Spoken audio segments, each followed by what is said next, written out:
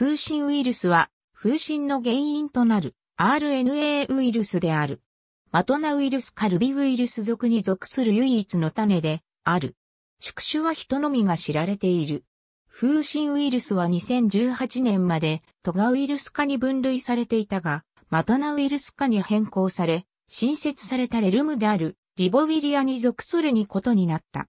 その後、2019年にはエ、ペウイルス科などと共にヘペリウイルス目に分類され、境から目までも決定された。風疹ウイルスは、正二重面体のカプシドの上にエンベロープを持っている。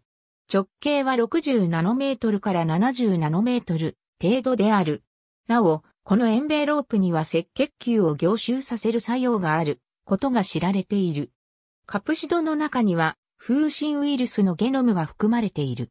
風疹ウイルスのゲノムは一本鎖の RNA であり、その中に含まれる E1 遺伝子は風疹ウイルスの検出に役立っている。ゲノムの RNA は鎖であり、従ってそのまま感染した細胞で mRNA として機能し、感染した細胞のリボソームに風疹ウイルスが必要とするタンパク質を作らせることが可能である。風疹ウイルスは人のみを自然宿主とし、感染すると風疹ウイルス感染症を発生させうる。感染後は免疫が不十分である場合、主に上気道やリンパ節などで増殖しながら、場合によっては、ウイルス血症を引き起こして全身に風疹ウイルスが広がってゆく。ただし、感染しても不検性感染で終わり、明確な症状を示さない場合もある。その上、風疹ウイルス感染症を、しかしながら、風疹ウイルス感染症を発症中は、もとより風疹ウイルス感染症を発症する前の潜伏期であっても、感染者は風疹ウイルスを周囲に放出し、人から人へと飛沫感染によって広がってゆく。さらに、風疹ウイルスは妊婦から胎児への胎盤を通した感染、すなわち垂直感染も引き起こす。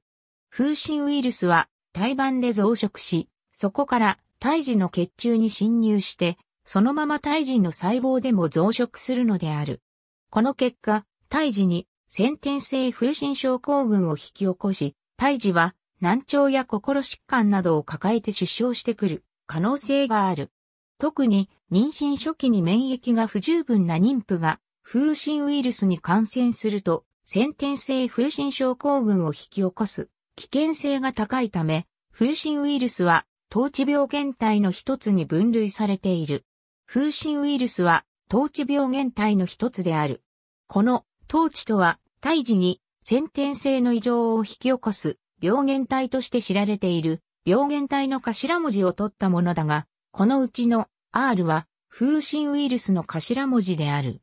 詳細は風疹ワクチンを参照 RNA ウイルスは一般的にゲノムが比較的不安定で変異しやすい言われているものの風疹ウイルスの場合はワクチン接種が有効とされており、弱毒風疹性ワクチンも存在する。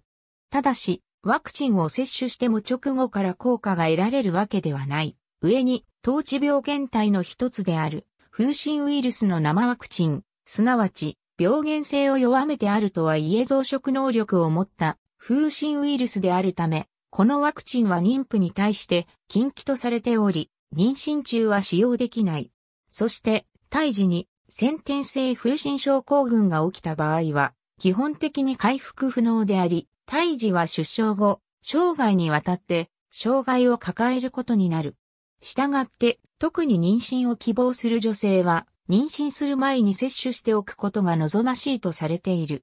中には、所長を迎える前の女児に弱毒風疹性ワクチンを接種するようにしている地域も見られ、例えば、日本では2015年以降は1歳から2歳までの間と6歳から7歳までの間に接種できるような施策をとっている。しかしながら、弱毒風疹性ワクチンであるため、免疫抑制剤を使用しているものや、ステロイドホルモン剤の大量使用に伴って、免疫抑制状態にあると考えられるものに、対しても禁忌であり、使用できない。